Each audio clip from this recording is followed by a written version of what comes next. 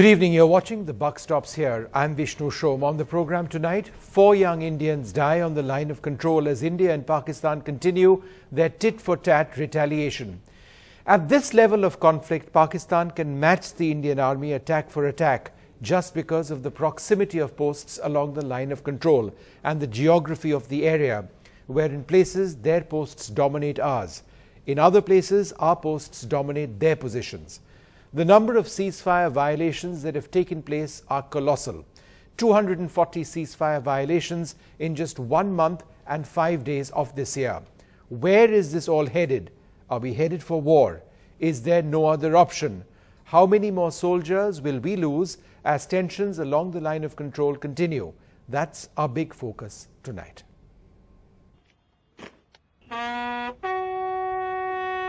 Country said goodbye to a young soldier. Just a year back, as he started his career here at his home in Pataudi, friends and relatives had gathered to give Captain Kapil Kundu a huge welcome.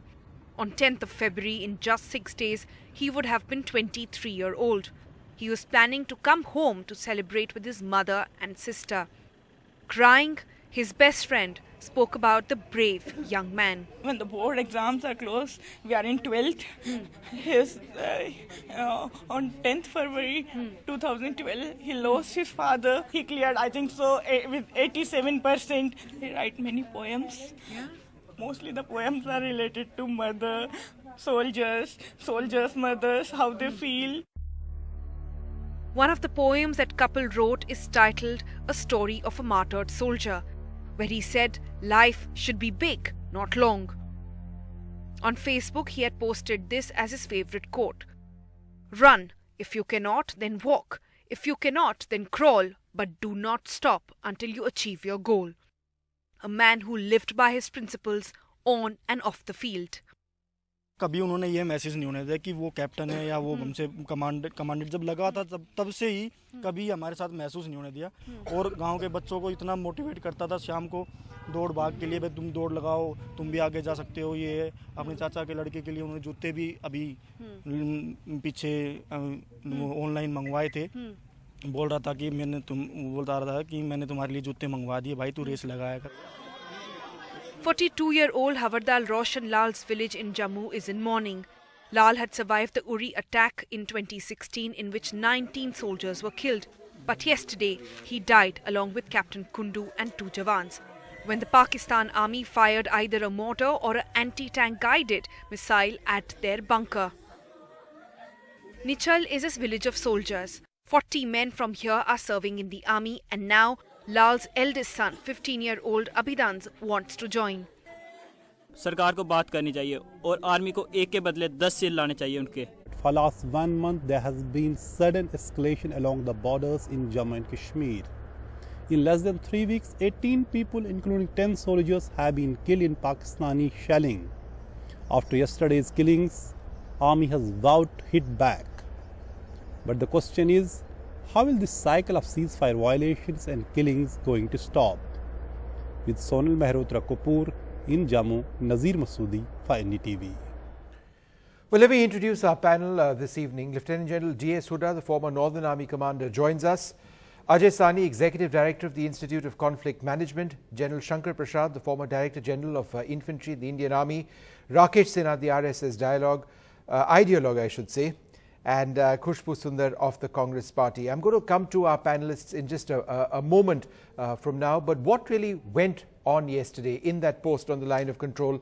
Why did these soldiers die? Was there a mistake? Was there an accident? How? What are some of the circumstances? I have this report. The four Indian soldiers who were killed in Bhimber Gali in Kashmir were on guard in a small bunker just like this. Last month, NDTV reported from the line of control where posts like this can be targeted at any time, day or night. Switch off the lights, sir. Switch off the lights. What's that? Something. On Sunday, it was much the same here. There was shelling, the soldiers were in their bunkers, bunkers which are usually meshed into the ground and are designed to withstand the blast of enemy mortars. But then something went disastrously wrong. One of the Pakistani mortar rounds struck near the entrance, which couldn't absorb the intensity of the blast. Today, the Vice Chief of the Army said the loss of these four men will not be forgotten. The Indian government has also lodged a complaint with the Pakistan Foreign Office. Pakistan Army along the border has been supporting uh, infiltration by terrorists. So I think action will speak for itself. India and Pakistan have been engaged in their worst ever period of tit for tat exchanges along the line of control in a month's time. In 2015, there were 152 violations of the ceasefire agreement. In 2016, there were 228. Last year, there were 860 incidents. But in just one month and five days of this year, there have already been a whopping 240 ceasefire violations. The death of four Indian soldiers raises important questions. At this level, India and Pakistan match each other in this eyeball for eyeball confrontation.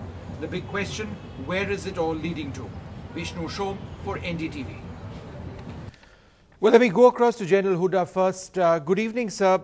Straight, direct question to you Are we headed to war? Uh, Vishnu, I, I, don't think we are headed, uh, headed to war. Uh, but having said that, let me also say I don't see the situation calming down.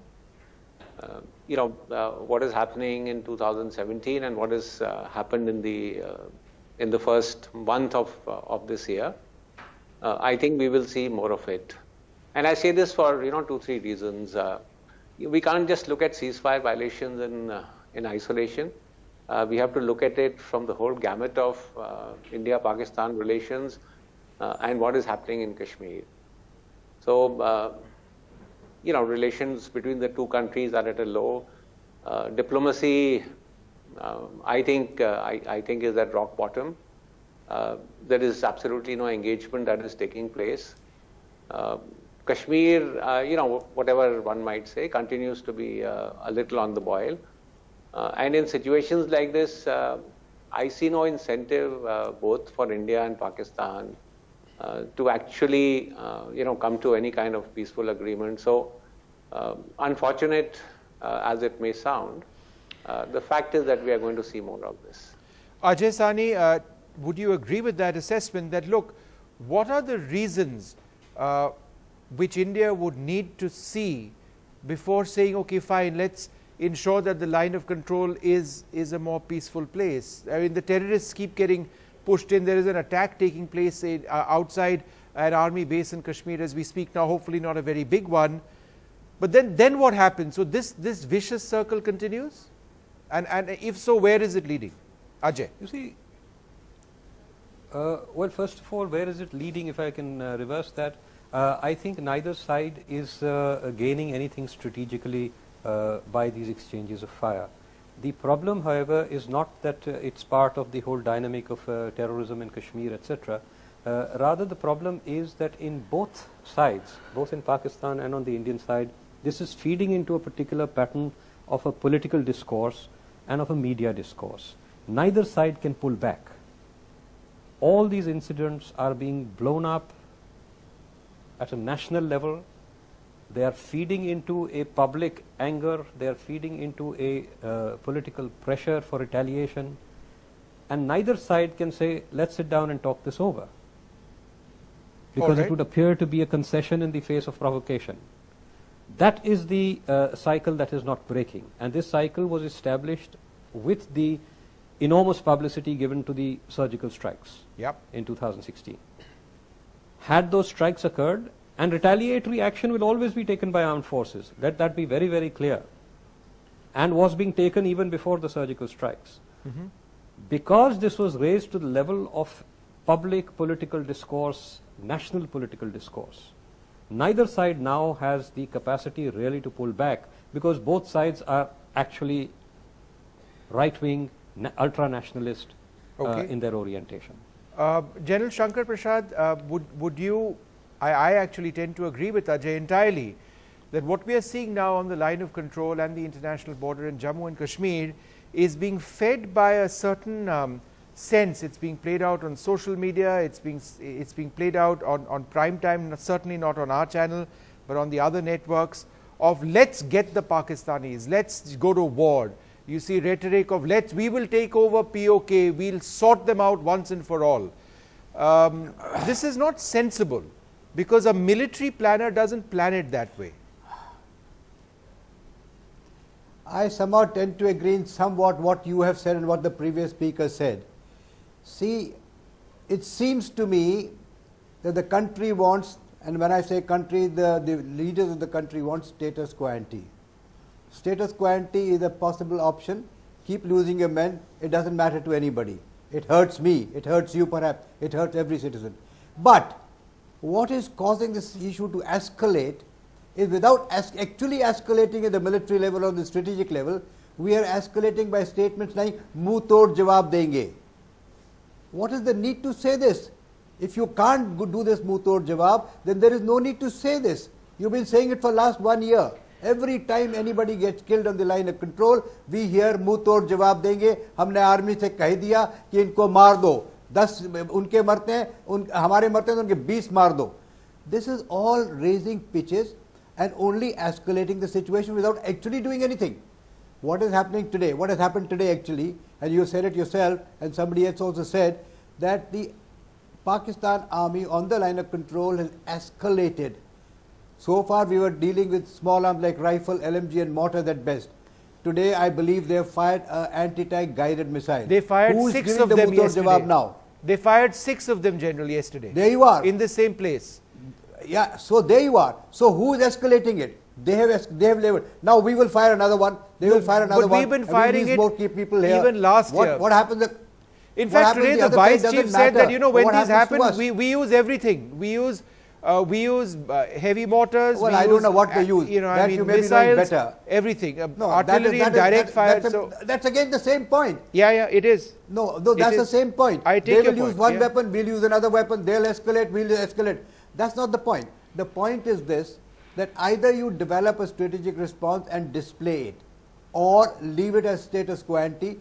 Don't hype it by making statements like एक सिर का दस सिर लेंगे दस सिर का सौ सिर लेंगे Okay. that is rubbish Okay, Khushbu so the Sundar. bish- now there's a bigger point I want to make besides no I want to make a bigger, bigger point just one more point Yeah. see there is a tactical response the tactical response has been given and the prime minister says in 2016 after the Uri incident the army is allowed to do a tactical response and the former army commander sitting here with you and he agrees with me and he was very much in chair at that time to say we did a tactical response with a bit of strategic support when the surgical strike took place at that point in time, the Prime Minister said that we have a tactical response and we have a strategic response. Yep. The strategic response takes time to build, and I'm building that.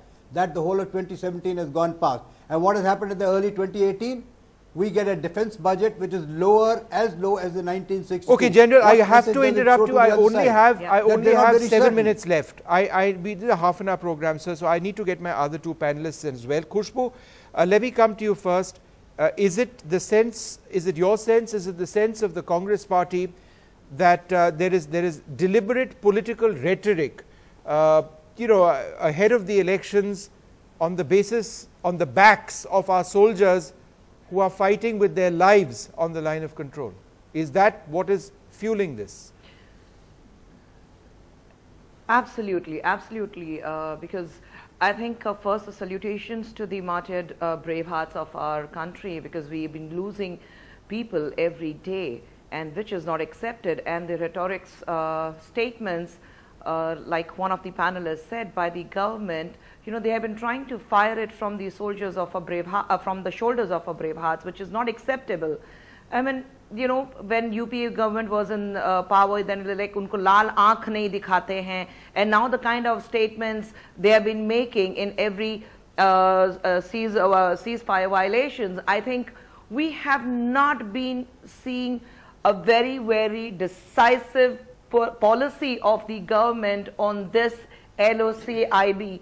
We need, we need a very fine tuned policies for this and which we don't see it and yes when you look at the budget this year it is the lowest since 1962 they might say that they have increased by 7.5 Khushbu, I don't want to talk about the budget because then I'll be sitting over here talking for the no, next I'm two saying hours. that how are we going to fight it out No, no, How that's a we going to separate point. out, I, I'm trying to understand the LC it- it- situation. no i'm saying I, and I, I uh, Khushbu, without No, doubt, we- I understand we what you're to- saying about the budget. understand. No, no, I understand what you're saying about the budget, it, it- and uh, you know, I mean, that's a larger issue.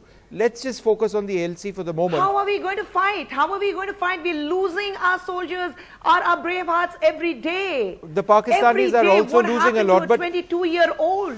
but Rakesh, Yeah, Rakesh Pakistan are losing, but here we are where we're saying an eye for an eye.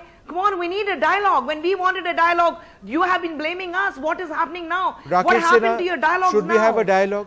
Wha- how long- it's, how long it's for not, how long we are you not, going to we are not winning, we are not losing, they are losing lives, we are losing lives. We are not willing to escalate into a full conflict. That, uh, Congress party is treating Pakistan problem just like a one of the provinces politics in India. You know, this is a, uh, this is a, this is related to come on, international Mr. politics. Uh, moreover, a, I, I disagree with Ajay Sahni. What a rightist? You know, when Pakistan, when we offered for dialogue, all efforts by the Narendra Modi government for dialogue. For that, he has he has been criticized by the opposition parties. Many of his friends criticized Narendra Modi, but he did that. Pakistan failed it. Now Pakistan is completely isolated. Vishnu, Pakistan for the first time is completely isolated. America is giving threat to Pakistan. Do we keep At losing the- our boys No, at the on I, the I line say, of control If war indefinitely? is re- if war is required, this is not war mongering. If Pakistan soldiers. is coming, cannot continue to killing our our soldiers, martyrdom, mart- honored martyrdom required that we should be prepared for the No, war. no, but- Pakistan's existence is a dangerous for India. You know, Indira. I So have there say- should be war is what you're Yes, saying. Yes, Indira Gandhi. Sorry, Indira did Gandhi, you say that? Did Indira you say Gandhi that we need, we need to have a war? Indira Gandhi led a war in 1971. Oh, Pakistan on, was divided. Rakesh, we need another war. Rakesh we need another you war. cannot Yeah, go you're on saying that. Yes, we need another war because the logical, cannot con- have another you know, uh, Khushbu, logical conclusion of such development is a war. Because Pakistan, Pakistan is not going to be satisfied. So satisfied. two by- it is a nuclear crocodile. armed- two nuclear armed they are, nations they will are, go to they are asking for a dialogue. Pakistan wants Mr. Kashmir. Are you ready to two give back nuclear Kashmir? Armed Yeah. nations will go to war. Yeah. Two nuclear armed nations will go to war. You know, you know that the doctrine of limited war can be possible, and we should not. What if they don't accept that doctrine and launch and You know, attack Pakistan- us with tactical nuclear weapons? You, you know, the, let the army decide, let the government decide, let government and army both are, uh, both are prepared and I am, I am really surprised. When there is, a, there is a surgical strike, these people ask that the, the army should give the proof. You are demoralizing the army, you are degrading the army, you are politicizing the army and you are saying the rightists are doing politics, rightists You are not are doing, doing politics. it. You we are, we are dialogue. for, we are, Please we wanted peace. kind of we wanted have peace. spoken, the we went for the peace. you know, the they dramabazi have thrown the people stone. have done. We, we went Please for the peace. They the have thrown the stone. Okay, all right, you do? Khushbu There and been an Khushbu and Rakesh Sinha ji, just one moment. I want to, I want to talk to the military experts. General Hooda, you've been listening in. Is this what the problem is? It's it's our political class targeting each other on something as important as as the lives of our young men on the line of control. But it's the rhetoric, and, and, and Rakesh Sinha makes a point there needs to be a war. That's how things will get resolved. As uh, do you agree, sir, General Hooda? See, uh, see, Vishnu, uh, let me make my point. You know, uh, what happens, uh, of course, is you know this whole thing goes into a rhetoric, and uh, you know, Ajay, Ajay mentioned uh, that uh, you know somehow the media and the political rhetoric is driving uh, you know what what is happening on the LC. Um, I, I tend to disagree. Uh, how we plan our strategy on the line of control and how the military needs to respond. There is, you know, we, we hear everything, but frankly, uh, it's done by the military and it's done in a way that we think is militarily feasible. Uh, unfortunately, Vishnu, uh, whatever we might say, there are no strategic options, uh, you know, left with us. Uh, you can deal with these things diplomatically. You can hope for, uh, you know, America to come in and, and do something uh, with, Pakistan and, and put pressure on them. It's only a hope. Uh, as far as the Americans are concerned, uh, you know, their their worries But of General, their worries, why are you worries- trying to say their that war are- needs to be considered as an option? That's my question to you, sir. No, no, no. So war, it's, it's not war as an option, It is Vishnu, a but compulsion, Vishnu. Not option. It is a compulsion. Well, What- I- no, no. let's see what he has to say. General, go ahead. Yes. Yeah, let me let let, let me uh, let me just complete my point. I'm saying, you know, if you're going to have uh, Pakistan continuously sending terrorists across who are who are carrying out mutilation, IED attacks, ambushes on your soldiers, uh, what do we do? Do we let them get away with uh, with impunity? No. So therefore, there has to be pressure on the line of control. in what form it has to take place, uh, selectively, you know, let's leave that to the let's leave that okay. to the military. Ajay, would you like Uh, to? And, and I'm sure, and I'm sure we can. I'm, I'm sure we can do it. Unfortunately, as I said, you know, either either diplomacy works or, or international pressure works. Uh, and that's not, working. worked in this case. Ajay, it's not worked in this case. This is the price that we need to pay with the lives of our men to keep up the pressure on Pakistan, which pushes in terrorists. That's a fact. Nobody is disputing that. Terrorist attacks all the time. We may not be ready to go into a war right now, but this is something that India needs to do in, in attacking them effectively along the IB and the LC. Uh, that's what Rakesh ji feels. He says we need to go to war, but I'm, I'm asking you about the pressure on the LC right now, where we hit them very hard. Does that need to continue? You see, I, will just, before I get to that, I have to uh, speak of this whole uh, warmongering kind of a thing. War is a compulsion. War is a compulsion for those who don't have to fight it. You know, these are all people who talk very big, thump their chests. They're not the ones who are going to go and fight in the line of control or are going to participate in any war. These are people who speak from very secure and very comfortable uh, environments. Number one. Number two, all right, let us for a moment say that war is an option we must consider. What are we preparing for it? The budget question that was being repeatedly raised by earlier speakers is critical. Okay. If you are going to talk about a war, and must, you must understand that a war with Pakistan is potentially going to be a two-front war. We do not have the kind of support we had in 1971, number one, internationally. We will not only find that America will fail us, we are li likely to find that Russia is not quite an ardent supporter as it was in 71. So please understand, when we talk about strategic options, you must understand strategy and not just this stridency, this, this abusive warmongering, this jingoism that is uh, being being spouted over Vishnu. here. Is, if you don't understand uh, Pakistan, these issues, is Pakistan, use, uh, Pakistan is compelling us for war, and he is accusing us for warmongering. Eh, Had there been a Pakistani strategist, he would have been accused me. I am saying that there should dialogue, but what dialogue? Prime Minister has gone to Pakistan. He had met the Pakistani Prime Minister. Then he, he made for all war. the efforts. Please What, what else war. you want? I don't you, have you a want that we should go to Prepare begging for war. with Pakistan for peace. You are not willing to Begging pay- for- you are not willing you are to questioning spend our money dignity. on the, You are questioning our forces. dignity. What about You are our, our people are the Of course uh, our soldiers? questioning your You are, you are creating a binary between Of soldiers course I and am. the civilians. Everyone in the army is questioning your military No, no, no, no, no. Everyone is questioning. You are questioning. You are Okay, gentlemen, today, one today, sec. Sahni, I Saab, you are speaking just like a Pakistani if you do not want to strategist. read you are not speaking he like is an not Indian here. He's He's not not speaking like anybody. No, no, He no, the right he to is- no one he can is- tell he is you what- questioning we cannot, warmongering. we cannot make a person a Pakistan is doing Pakistani or an. Indian sitting on a television program. Let's not get into that kind of debased No, argument. warmongering, they he's, That's he's, what they do, he's, he's calling all That's the people they as do. warmongers of India. He We has a right to that to that No, opinion. no, I am calling you a warmonger. I am calling you a warmonger. All right. No, no, And I am calling then General you are calling one a home second, one warmonger. second, one Warmonger. both of you. I have time for one Yes, war is a last. compulsion. I have If the war is one required, we go last, for one last, one last comment. General Shankar Prasad, I have 30 seconds. Please go ahead. Yeah, I'll give you. I'll look. A tactical response has been given all this while at the army level. We need to now work on a limited strategic option, which, in my understanding, would be make the line of control military post absolutely incapable of responding. Whether you use army, navy, or air force is a matter of detail which the military and the civilian government can decide. But you've got to deal with this posts across the line of control and some of the posts across the Jammu area of, uh, of the international border. Yep. Only when you make them incapable of responding will anything happen. This will fall in the realms of a limited strategic response. It is not warmongering. It is neither a war. And we are not ready for a war as yet. We need to take time to get ready for a war. Okay. Get ready. It will need a defense budget much more than 1.5 All GDP. right. Okay. General Prasad, thanks very much. We are completely out of time. The point that the general makes is not a full-scale war, not the situation on the line of control right now, but something in between, whether you call it a war or conflict. These are difficult choices, one way or the other. Every time an Indian soldier falls on the international border or the line of control, all of us feel very, very sad. Where is this all going? That's, I, I began this program by asking this question, and I will end it by that. Thank you all very much for being with us.